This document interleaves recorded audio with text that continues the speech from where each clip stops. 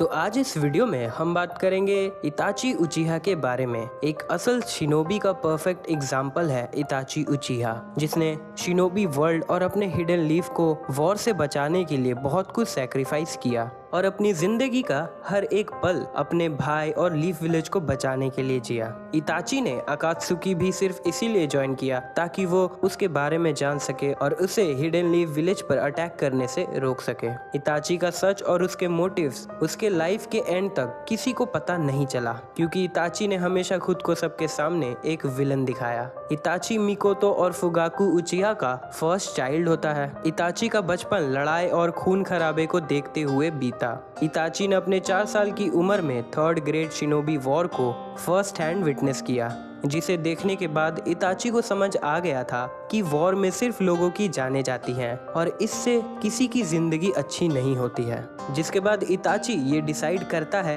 कि वो एक ताकतवर निंजा बनेगा और शिनोवी वर्ल्ड में वॉर और वॉयलेंस को खत्म करेगा। अपने पाँच साल की उम्र में इताची सासके का बड़ा भाई बनता है और उसकी दोस्ती शिजुई उचिहा के साथ होती है। दोनों एक साथ ट्रेनिंग करने लगते हैं और उनकी दोस्ती इसी के साथ और स्ट्रॉन्ग होने लगती है। नाइन टेल्स के अटैक के दौरान इताची सासके के साथ घर पर अकेला होता है। मिकोतो को बचाते हुए वो लोग सेफ्टी की तरफ़ जाते हैं। नाइन टेल्स के अटैक के बाद लीव विलेज के लीडर्स को लगता है कि इस अटैक के पीछे उचिहा क्लैन वाले हो सकते हैं। जिसके बाद डांजो के कहने पर उचिहा क्लैन को विलेज के एक कोने में शिफ्ट कर दिया जाता है, ताकि उन पर नज़र रखना आसान हो सके।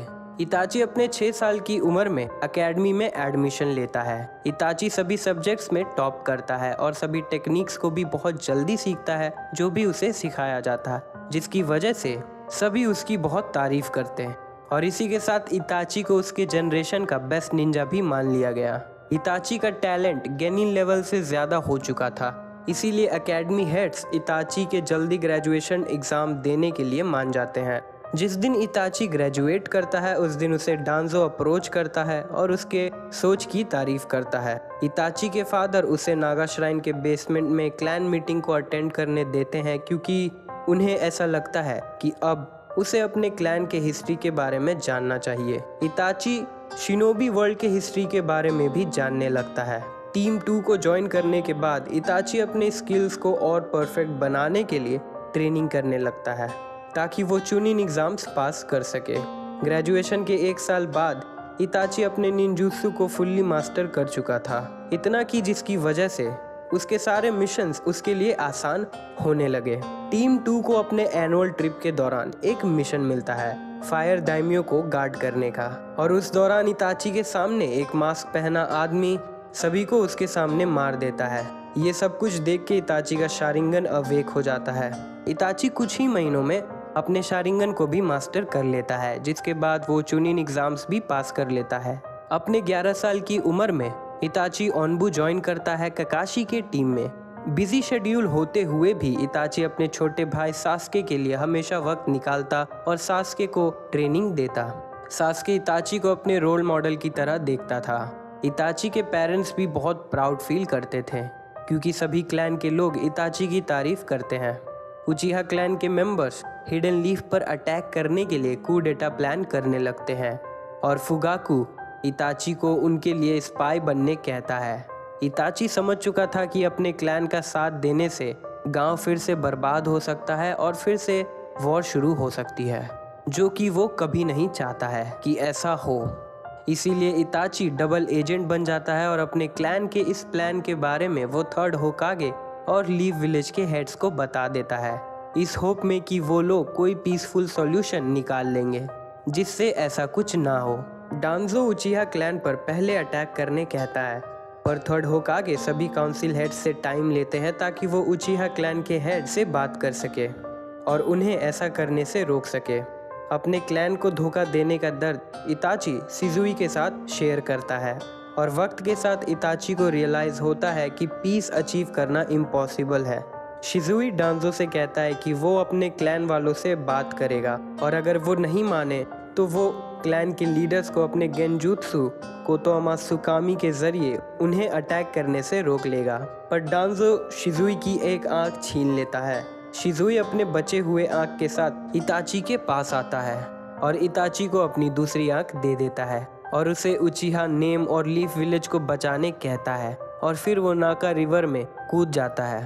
अपने सामने शिजुई को सुसाइड करते हुए देखकर इताची की मांगे क्यों शारिंगन अवेक हो जाती है। जिसके अगले दिन कुछ उचिहा मेंबर्स इताची पर शिजुई के गुम हो जाने पर शक करते हैं और इताची गुस्से में उन पर अटैक करता है और वो उन्हें बड़े आसानी से हरा देता है, जिसके बाद इताची और उसके फैमिली के बीच दरार आ जाती है। 12 साल की उम्र में इताची का प्रमोशन हो जाता है और वो ऑनबू कैप्टन बन जाता है। थर्ड होकागे अब भी उचिहा क्लैन के साथ सब कुछ नेगोशिएट करना चाहता था। पर डांजो शिमुरा इताची को दो ऑप्शंस ऑफ़र करता है कि होने वाली लड़ाई में अपने क्लैन के साथ वो छोटे भाई सासके को खोना चाहेगा या लड़ाई से पहले अपने क्लैन को ख़त्म करके छोटे भाई को बचाना चाहेगा।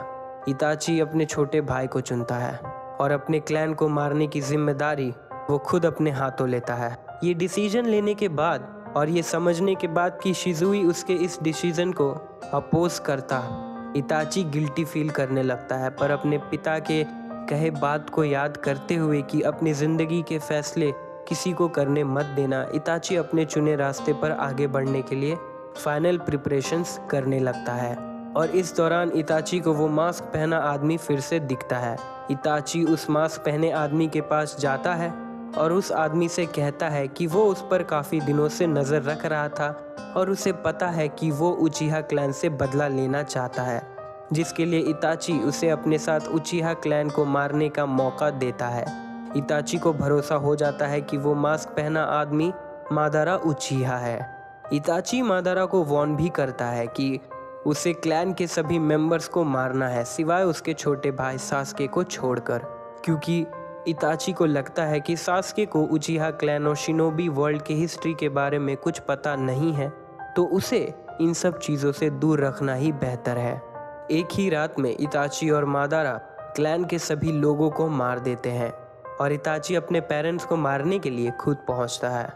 अपने बेटे के हाथों मरने से पहले फुगाकू और मीको तो इताची को बताते हैं कि वो लोग बहुत प्राउड फील करते हैं और जो रास्ता उसने चुना है, वो बहुत ही मुश्किल होने वाला है। फुगाकू इताची को उससे प्रॉमिस करने कहता है कि वो उनके मरने के बाद सासके का ध्यान रखेगा। इताची को लगता है कि उसके इस किए की सज़ा उसे सिर्फ़ सासके ही दे सकता है। और सासके से ऐसा करवाने के लिए इताची सासके के नज़र में खुद को एक विलन बना लेता है। और वो सासके को सुकुयोमी में डालकर बार बार उसके पेरेंट्स की डेथ को दिखाता है। सासके उससे ये सब करने की वजह पूछता है, जिसके जवाब में इताची उसे कहता है कि उसने सासके से कभी प्यार नहीं किया और उसने ये सब कुछ सिर्फ़ खुद के पावर्स को टेस्ट करने के लिए किया। इताची जाते जाते सासके से कहता है कि अगर कभी दुख और गुस्से में उसे अपने क्लैन का बदला लेना रहा तो जब उसके पास मांगे क्यों शारिंगन आ जाए, तब वो इताची को मारने आ सकता है। तभी सासके का शारिंगन अवेक हो जाता है और सासके बेहोश हो जाता है। ये देखकर इताची को रोना आ जाता है और वो वहाँ से चला जाता है, जिसके बाद इताची अपने क्लोन को डांजो के पास भेजता है और उसे वॉर्न करता है कि अगर उसने सासके को चोट पहुँचाने की कोशिश की तो वो कोनहा के सीक्रेट्स एनिमी विलेज को दे देगा। ये रियलाइज़ करने के बाद कि डांजो पर भरोसा नहीं किया जा सकता, इताची विलेज छोड़ने से पहले थर्ड होकागे के पास जाता है और मिशन कंप्लीट करने का रिपोर्ट देता है। जिसे सुनकर थर्ड होकागे बहुत डिसअपॉइंट हो जाते हैं। इताची थर्ड होकागे से सास्के का ख्याल रखने कहता है, जिसके बाद इताची पब्लिकली एक ट्रेटर बन जाता है और सीक्रेटली अपने मिशन के साथ अकासुकी ज्वाइन करता है ताकि वो अकासुकी को लीफ विलेज पर हमला करने से रोक सके और उसके मोटिव्स को जान सके। अकासुकी ज्वाइन करने के बाद इताची का पार्टनर जूजो बीवा बनता है और वो दोनों लैंड ऑफ़ वाटर मिशन पर जाते हैं। मिशन कंप्लीट करने के बाद इताची और जूजो का पीछा यागुरा और उसके हंटर निन की टीम करती है। इताची अपने अमतराजू से यागुरा को रोक लेता है, पर इस दौरान जूजो की मौत हो जाती है। ओरोची मारू इताची के बॉडी पर कंट्रोल करने की कोशिश करता है, पर वो बुरी तरह से नाकामयाब हो जाता है। इताची बहुत ही आसानी से ओरोची मारू को गंजूसू में डाल देता है और उसके एक हाथ को काट देता है जिससे वो इससे बाहर ना सके। इताची ओरोचिमारू से कहता है कि उसे ओरोचिमारू और उसके एक्सपेरिमेंट्स से बहुत ही नफरत है। इताची ओरोचिमारू को मारने की कोशिश करता है, पर काबू तो वहाँ आकर ओरोचिमारू को बचा लेता है। जूजो के रिप्लेसमेंट में इताची का पार्टनर कीसा में होशिगाकी बनता है, जिसने इताची की तरह ही अपने लोगों को मारा है। ओरोचिमारू के रिप्लेसमेंट के लिए इताची की समय और सासोरी के साथ स्टोन विलेज जाता है देदारा को रिक्रूट करने के लिए। देदारा इताची के गेंजूसू से बुरी तरह हार जाता है, जिसके बाद देदारा अपने इस हार के लिए हमेशा शर्मिंदगी महसूस करता है और इताची से बदला लेने का सोचता है। इताची हिडान के रिक्रूटमेंट के लिए भी जाता है। पेन को ओरोचिमारू के हिडन लीफ पर किए अटैक के बारे में पता चलता है, जिसके बाद इताची की समय के साथ हिडन लीफ जाता है ताकि वो इस अटैक के सच्चाई को जान सके। पर उसका असल कंसर्न सासके रहता है। एक टाइम पर इताची को पता चलता है कि वो बीमार है, पर मेडिसिन और विल पावर के साथ वो ज़िंदा रहता है, ताकि वो सासके के हाथों मर सके। इताची और कीसमे लीफ विलेज पहुँचते हैं, पर ककाशी इताची को पहचान लेता है। वो आसमा और कुरनाई को इताची के पीछे भेजता है। इताची और कीसा में उन दोनों को एक आइसोलेटेड जगह तक पीछा करवाते हैं, जिसके बाद वो लोग अपने आइडेंटिटी को रिवील करते हैं। आसुमा और कुरनाई उन दोनों से लड़ते हैं और बुरी तरह से कॉर्नर हो जाते हैं। पर वक्त पे ककाशी वहाँ आके कुरनाई को इताची के अटैक से बचा लेता है, जिसके बाद इताची और ककाशी अपने शारिंगन की मदद से लड़ते हैं। इताची ककाशी को अपने गेंजुत्सु सुकुयोमी में डाल देता है। जिससे ककाशी की हालत बहुत खराब हो जाती है। इताची की समय को अटैक करने कहता है, पर तभी माइट गाय आकर उन्हें बचा लेता है। इताची ये बताते हुए कि हम यहाँ नाइन टेल्स के जिंजुरिकी के लिए आए थे, वो कीसमे के साथ नारुतो को ढूँढने चला जाता है। सासके को जब ये पता चलता है कि इताची नारुतो को ढूंढ रहा है, सासके इताची से पहले नारुतो के पास पहुँचने की कोशिश करता है। इताची और कीसमे नारुतो के पास पहुँचते हैं। ये जानते हुए कि नारुतो जिराया के साथ है। इताची एक सुंदर लड़की को गेंजूसू में डालकर जिराया को उलझाए रखता है। पर तभी वहाँ सासके आकर अपने चिदोरी से इताची पर अटैक करता है। पर इताची बड़े ही आसानी से सासके के हाथ को पकड़कर उसके अटैक को रोक लेता है और उसका हाथ तोड़ देता है। और तभी वहाँ जिराया भी आ जाते हैं। इताची जिराया से फाइट नहीं करना चाहता था। इसीलिए वो सासके को सुकुयोमी में डालकर उसके पेरेंट्स की डेथ को दिखाकर उसे बेहोश कर देता है। जिराया अपने टोड माउथ बाइंड समनिंग से इताची और कीसमे को रोकने की कोशिश करता है, पर इताची अमतराजू का यूज़ करके वहाँ से भाग जाता है। वन टेल्स को सील करते हुए अकासुकी को पता चलता है कि कोनोहा के निंजा उनकी तरफ़ आ रहे हैं। और उन्हें उलझाए रखने के लिए कीसमे टीम गाय के पास जाता है और इताची टीम सेवन के पास। नागाटो अपने शेप शिफ्टिंग टेक्निक की मदद से इताची का बॉडी डबल बनाता है, जिसे वो कंट्रोल करता है। इताची नारुतो के ग्रोथ को देखकर इम्प्रेस हो जाता है और नारुतो को गेंजूसू में डाल देता है और फिर वो नारुतो को डिमोरलाइज करता है। नारुतो के टीममेट्स नारुतो को गेंजूसू से फ्री कर देते हैं, जिसके बाद नारुतो अपने बिग बॉल रसेंगन से इताची के बॉडी डबल को हरा देता है, पर वो उन्हें देर करवाने में सक्सेसफुल रहते हैं। किसामे के फोर टेल्स को पकड़ने के बाद, अकासुकी उसे सील करते हैं। इस दौरान उन्हें पता चलता है कि सासके ने ओरोची मारू के साथ ढाई साल ट्रेनिंग करने के बाद ओरोची मारू को मार दिया है, और अब वो इताची को मारने के लिए आ रहा है। फोर्ट टेल्स को सील करने के बाद देहदारा और तोबी सासके को मारने के लिए जाते हैं। जिसके बाद अकासुकी को उन तीनों के मरने का रिपोर्ट मिलता है, जिसके बाद कीसमे इताची से कहता है कि अब वो आखिरी उचिहा बचा है। पर इताची उससे कहता है कि सासके अब भी ज़िंदा है, और अगर ऐसा कुछ होता है तो तो भी आखिरी उचिया बचेगा। ये रियलाइज़ करने के बाद कि अब उसके पास ज़्यादा वक्त नहीं बचा है। इताची अपने एक क्लोन को नारुतो के पास भेजता है। नारुतो इताची पर अटैक करता है। पर इताची नारुतो से कहता है कि वो उससे बात करना चाहता है। इताची नारुतो से पूछता है कि सासके उसके लिए क्या मायने रखता है? और अगर कभी सास के हिडन लीव विलेज पर हमला करता है, तब वो क्या करेगा? जिसके जवाब में नारुतो कहता है कि सासके उसके भाई जैसा है। और अगर सासके लीव विलेज पर अटैक करता है, तब वो सासके को बिना मारे विलेज को बचाएगा। नारुतो के जवाब से इम्प्रेस होकर इताची नारुतो के साथ अपनी पावर शेयर करता है और उसके अंदर अपने एक रो को डाल देता है, जो नारुतो की हेल्प करेगा सासके को रोकने में। इताची का एक और क्लोन सासके के पास पहुँचता है। सासके के स्किल्स को देखकर इताची मान लेता है कि सासके स्ट्रॉन्ग हो चुका है और वो उसे उचिया हाइड आउट पर बुलाता है। टीम टाका उचिया हाइड आउट पर पहुँचते हैं, पर कीसा में आकर उन्हें रोक लेता है और कहता है कि सिर्फ़ सासके ही आगे जा सकता है। सासके अपने टीम से वेट करने के लिए कहता है और आगे बढ़ता है। इताची के पास पहुँचते ही सासके बिना वक्त गवाए इताची पर हमला करने लगता है, पर फिर उसे पता चलता है कि वो इताची के गेंजूत्सु में है। इताची सासके को मांगे के शारिंगन और उसकी एबिलिटीज के बारे में बताता है कि मांगे के शारिंगन को ज़्यादा यूज़ करने से यूज़र ब्लाइंड होने लगता है और इससे बचने के लिए यूज़र अपने सिबलिंग के आँखों को ट्रांसप्लांट करके बच सकता है। इताची सासके को मादारा के बारे में भी बताता है कि कैसे उसने अपने छोटे भाई के मौत के बाद उसकी आँखों को ट्रांसप्लांट करके इटर्नल मांगे के शारिंगन हासिल किया। सासकी इताची से पूछता है कि वो उसे ये सब क्यों बता रहा है? जिसके जवाब में इताची कहता है कि वो सासके को मारने के बाद उसके आँखों को खुद में ट्रांसप्लांट करके इटरनल मांगे क्यों शारिंगन पाना चाहता है। पर उसे बहुत दुख है कि सासके ने अब तक मांगे क्यों शारिंगन हासिल नहीं किया है।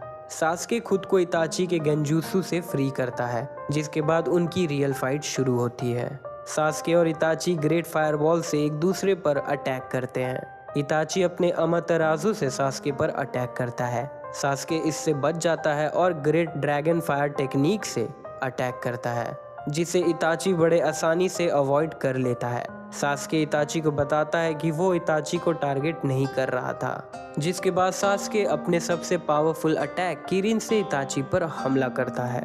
सासके को लगता है कि वो जीत गया है, पर इताची अपने सुजानों की मदद से बच जाता है। सासके खुद को बचाने के लिए कर सील को एक्टिवेट करता है। पर ज़्यादा चक्रा ना होने के कारण ओरोची मारू सासके की बॉडी से बाहर आ जाता है।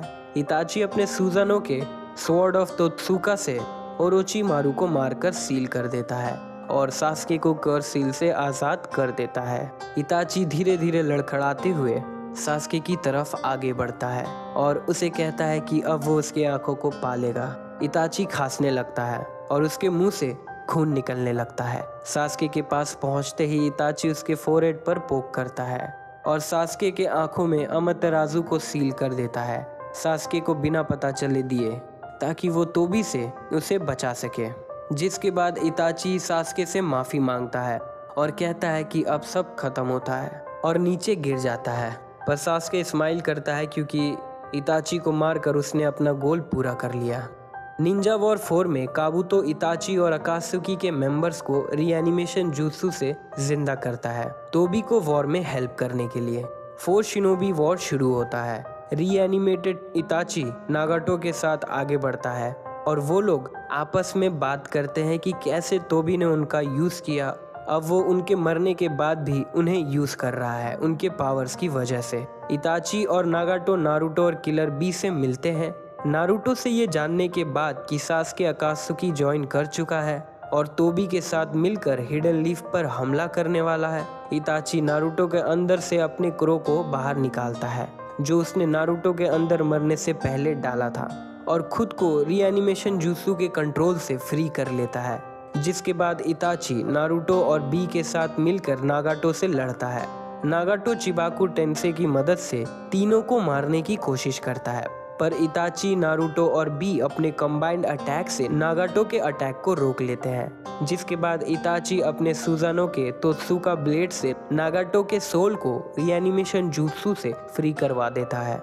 नारुतो इताची से उसके क्रो के बारे में पूछता है। इताची नारुतो को बताता है कि उसने जिस क्रो को नारुतो के अंदर डाला था, वो उसकी हेल्प करता सासके को रोकने में। उस क्रो के पास शिजुई की आँख थी। जो सासके के मांगे के शारिंगन को देखकर रिएक्ट करता, क्योंकि उसे भरोसा था कि इताची के मरने के बाद सासके उसकी आँखों को इम्प्लांट करेगा। और सास्के को बिना कुछ पता चले, वो उसे शिजुई के गेंजुसु कोतो अमासुकामी में डाल देता, जिससे सास्के हिडन लीफ को बचाने के लिए सोचने लगता, जिसके बाद इताची क्रो और शिजुई की आँख को अमतराजु से जला देता है। ताकि शिजुई की आँख किसी गलत इंसान के पास ना चला जाए। और नारुतो से कहता है कि उसे शिजुई की आँखों की ज़रूरत नहीं है, क्योंकि नारुतो की सोच शिजुई की तरह ही है, जिसके बाद इताची रीएनिमेशन जूसू के यूज़र को रोकने के लिए वहाँ से चला जाता है। रास्ते में इताची को सासके मिलता है। सासके इताची से ढेर सारे सवाल करने लगता है, पर इताची उसे कोई जवाब नहीं देता है। सासके और इताची जूसू कास्टर के पास पहुँचते हैं। सासके को लगता है कि कास्टर ओरोची मारू है, पर वो काबूतो होता है।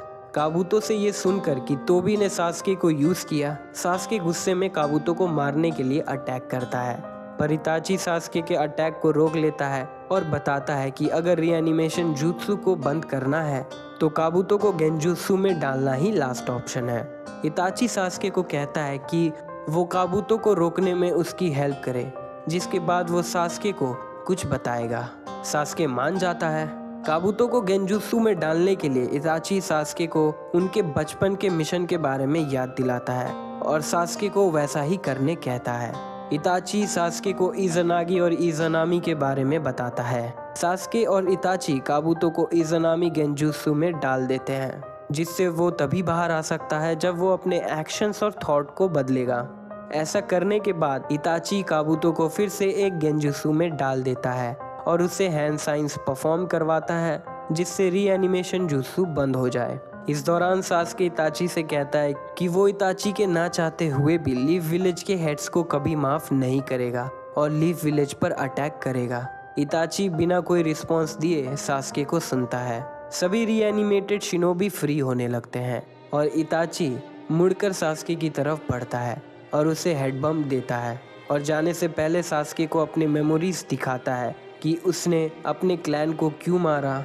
इताची, मादरा और डांदो से मिली इन्फॉर्मेशन को सच बताते हुए, सासके को अपने साइड की स्टोरी दिखाता है और सासके को एक आखिरी गुड बाय करते हुए उससे कहता है कि उसे सासके से माफ़ी नहीं चाहिए और अब इसके आगे सासके जो भी करना चाहे कर सकता है। पर इताची उससे हमेशा प्यार करेगा। इताची की रीएनिमेटेड बॉडी टूटने लगती है और उसका सोल प्योर वर्ल्ड चला जाता है। बात करें इताची की लेगेसी की तो इताची की आँखों ने सासके के लिए बहुत इंपॉर्टेंट रोल प्ले किया, जिससे सासके को इटर्नल मांगे की शारिंगन मिला और आगे उसे रिनेगान भी मिला, जो कागुया को सील करने में सासके के काम आता है। तो दोस्तों, ये थी कहानी इताची उचीहा की। नारुतो और नारुतो शिफुडेन है अगर आपको ये वीडियो अच्छी लगी हो तो वीडियो को लाइक करें शेयर करें। ऐसी और भी वीडियोस के लिए चैनल को सब्सक्राइब करके सपोर्ट ज़रूर दिखाएँ। वीडियोस के अपडेट्स पाने के लिए नोटिफिकेशन बेल को ज़रूर ऑन करें। तब तक के लिए बाय मिलते हैं अगली वीडियो में।